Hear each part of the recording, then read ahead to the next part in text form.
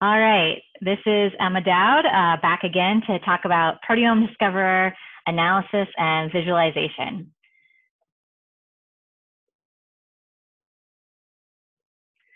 So Dr. Mosley gave a really great overview in the Sequest HT talk about um, what we use proteome software for. And Proteome Discoverer is just the, the workflow uh, pathway analysis software that we pay to use uh, that we use very commonly in the course. So there's a lot of different options. But again, the reason you have software is to get from the raw data to some scored peptides and proteins that you can give output to your customers. So I'm going to just re-show you these slides. I'm going to bring this up again and again because the next few lectures are actually about different sorts of software that you can either use to do the data analysis itself or to just visualize the data or some combination thereof. So again, you can, you can reference Dr. Mosley's lecture on FASTA databases, some places to get sequences of proteins, the different search engines, including Sequest, which is what we use here most of the time, and the different platform, platforms and integrated pipelines. And you might note that some of this is vendor specific. So Proteome Discoverer is provided by Thermo Fisher and has an entire support and development team. So there's regularly regular updates happening, um, and a lot of academic researchers actually provide plugins where you can use their their tools in Proteome Discover because it's such a common tool to be using. You can see that others are uh, Progenesis is a Waters product, Protein Pilot is an AB Sciex. These are all manufacturers of different mass spectrometers. So their raw data formats, if you listen to that lecture, are going to be very different. And so they provide different um, software that which you can purchase. it's it's mostly not free. Some of some there are some free options such as MaxQuant. So I'm also going to send you this a link to Ben Orsburn, who is a, a great guy in the field of proteomics. He has a, a really entertaining blog, but he has a bunch of Vimeo Vimeo tutorials on Proteome Discover. If you ever want to see an entire walkthrough on anything specific, he explains things really well. So I just link to that as an additional um, something to study. So data analysis and visualization. So data analysis and Proteome Discover. This is the, the screen when you open up Proteome Discover. And some of the key information here is you have content manu management as well as configuration. So content management is where you set some global settings that may be applied to multiple different projects. So FASTA files, this is where you would upload a FASTA file, and Proteome Discoverer is uh, um, makes the database that is then searched by whichever search engine you select in your workflow. Um, things like spectral libraries, if you're doing a DIA experiment, you can upload your spectral library here any specific chemical modifications. It comes with many modifications already set in, in the uh, administration rights, but you can also check uh, Unimod for any specific modifications, or if you're doing some unusual chemical modification, you can add it into this section. Cleavage reagents, if you're using some non-traditional digestive enzyme, you may need to double check that it's listed and described well here. And quantification methods, so that's if you're using a specific labeling technique. Uh, for example, in our, our TMT tandem mass tag labeling, uh, we actually get a specification sheet for each lot of reagent that we use, and we can add in the quantification method a specific, lot specific isobaric um, you know, abundance uh, in in the method. So you can apply that when you're Correct, doing the quantification. Correction. correction. Yes, thank you. That was the word I was looking for. And another, uh, set, some other settings are in the settings and node uh, portion here. I mentioned that some academic researchers make what are called nodes available, and I'll kind of give you a, a little visual of how that looks. But essentially, if you're opening up Proteome Discoverer for the first time, you would essentially go File, New Experiment, and you can add your files or fractions depending on what sort of mass spec technique you had done. Um, and then you'll see in the workflow, you'll have a consensus workflow and a processing workflow. So I'm going to talk about the processing workflows first. And so essentially a processing workflow is just the data uh, from the spec from the from the mass spec, uh, processing it into some sort of peaks format that can be searched by your database search of choice, some sort of FDR validation, which, of which there are a number, and potentially PTM or targeted site analysis if you want to do further levels of validation of site-specific modifications. So this is this is a very simple, straightforward workflow as an example, where you have your spectrum files, your spectrum selector, Sequest HT, which is the node for your search engine, which uh, Dr. Mosley discussed in that lecture, and Percolator as a, a PSM FDR validation tool. So there are a number of different options, and you can see these, what they're called workflow nodes on the left. So different ways for your data input, different ways to add in what's called feature detection and quantification. So if you're doing reporter ions, uh, you can have a reporter ions quantifier node added in. You can also use this Minora feature detector, which is looking at what's called um, look, adding in potentially retention time or precursor information. Uh, and that's important if you're doing precursor quantification and not reporter ion quantification. Uh, you can add in some spectrum processing nodes. Uh, they, these are just different ways of manipulating the mass spectrum data prior to searching. Um, and then you have your different sequence databases. So in our, here, here you can see Sequest HT, which is what we often use, Mascot, which is another common, and MS Fragger, which is a, an exceptionally fast search database. Uh, you can do a spectral library search if you're doing a DIA experiment, and the different PSM validation um, nodes from Percolator, which is works well if you have many different, uh, a, a, large number of PSMs in your experiment or a really complicated sample, it can use some machine learning algorithms to appropriately apply false discovery rates to your, um, your search engine results.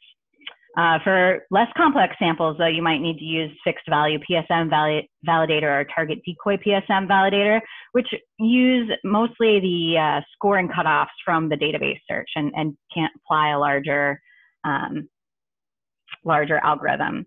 For PTM site-specific analysis, they have a IMP PTM RS node, which is specifically trying to look for uh, those um, diagnostic ions that will give you specific localization of, for example, a phosphorylation.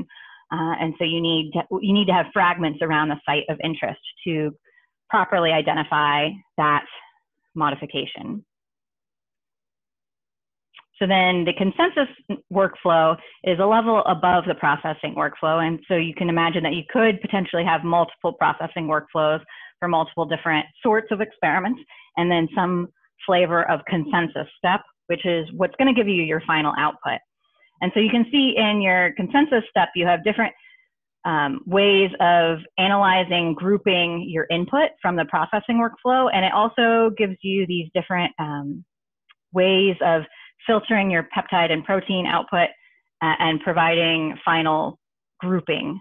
Uh, we will often use reporter ions quantification, and it's nice that we also can include these different protein annotation, um, looking at different, uh, it, can start to assign some of the, the Go annotations even in this, in this software uh, before you get to, to separate processing. So it can get really complicated really fast, but this is what a basic workflow at the consensus level looks like so that then you get your final um, protein peptide groups. For visualization, this is also really important and why there's still a lot of development around various softwares. And so you'll see this as a common theme in some of the software that I bring up. Um, data visualization is obviously really important to you as someone who may isn't running the mass spec. You need to be able to understand what the output of the different search and false discovery rate uh, algorithms are, are telling you. So I will say that you can download Proteome Discover as a viewer, and it's a little bit more of a complex um, system than what we'll talk about scaffold and scaffold PTM as other data visualization options later. But I will walk you through it and just so you can see how rich uh, and in depth you can go into data visualization just using Proteome Discoverer. And so just in your results view, uh, as, as expected, you have a proteins group, uh, a proteins tab, a protein group tab, peptide groups, PSM, quant spectra, specialized traces. And then these tabs will be dependent on the sort of experiment you're running and the sort of output you're looking for. Um, Dr. Mosley talked a little bit about proteins versus protein groups. So if you have some splice variants, things, and, and proteins that cannot be um, separated by your bottom-up data, they, they, will be in a protein group as opposed to uh, individual proteins. And that's just to remove, um, otherwise you could have a, a list of 50 different splicing isoform variants where you see one peptide that doesn't determine which one of them is, is present in your sample. So then you have peptide groups, which you can pull down from each protein. You can look at the number of specific peptides and the number of specific PSMs or peptide spectral matches. Uh, there's just so many ways to visualize this data. These are all of the tabs that are available. Um, you can look at different um, pathway protein groups and search by different pathway protein groups. And you can even select this table and format it to drag around what you're viewing in this window. And so what we will do is we'll export this as an Excel sheet, um, but there could be different things not present. So here you can see it, both the gene symbol and the accession, which is the protein UniProt identification. Uh, and some people might really be interested in, in the gene symbol. Some people are more interested in the accession number. Um, these are just different visualize, visualization options of the same data. So for example, you can filter, you can, uh, using this, this filter option, looking for a specific protein of interest. I just chose this one at, at random. So if you set a filter, you can pull up the protein. Um, you can see its abundance values, its abundance ratio. There were nine peptides identified. If you double click on this protein, you can see the coverage, uh, the sequence coverage of the protein. Um, and then if you checked this and went through these different groups, you can, could see the associated peptide groups, PSM and spectra, uh, involved in identifying this protein. Uh, there's also visualization tools including scatter plots, histograms, bar charts, pie charts, Venn diagrams, all of these different ways of looking at all of the different data in all of these tables. So it's pretty um, in, endless in terms of the number of graphs and charts you could make if you wanted to. So I'm just going to cover some of the ones that we will provide you as an example. Um, we will generally provide this proteins abundance ratios log two, sorry, log two of the abundance ratios. And here we can see just a, an infected versus null uh, abundance ratio. Um, and we take the log two of it so that you can center it around zero. And you can, you, you would, in most experiments, you will see this centered around zero, almost bell-shaped curve. But you could imagine that in specific knockouts or others, uh, other experiments, perhaps this is shifted so that all sorts of proteins are more decreased in, in one sample compared to wild, wild type, for example. So it can give you some good high level view of what's happening in a, in a quantitative analysis. We'll also provide a volcano plot. And the volcano plot shows you the log 2 ratio. So that was the histogram in the previous um, slide. Uh, graph versus negative log 10 of the p-value. So negative log 10 of the p-value, you want to take only significant values, so less than 0.05, and you take negative log 10 just so you can create this um, positive Y graph. Uh, and here we just have the cutoff of, uh, of this line here. Everything above it has a significant p-value, and we can give you this list, the list of all proteins identified, but everything above a significant p-value has could potentially be looked at as changing and of interest in your system. Then, for example, you could double click on any, any dot of interest. All of these little dots are individual proteins that have been quantified and you can view the data here.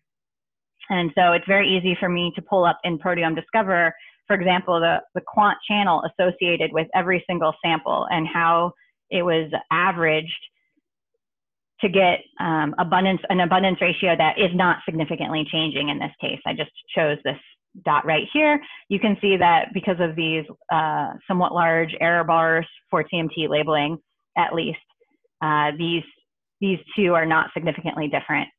Um, but then you can also look at each sample level. And I just, I chose it because it wasn't significantly changing um, because I don't want to um, share any, any lab specific data. So then we can export that all to you and provide this exact same chart with um, accession, description, gene level uh, as an Excel, a cell, Excel sheet for you to further analyze in StringDB or David, different um, gene ontology search engines.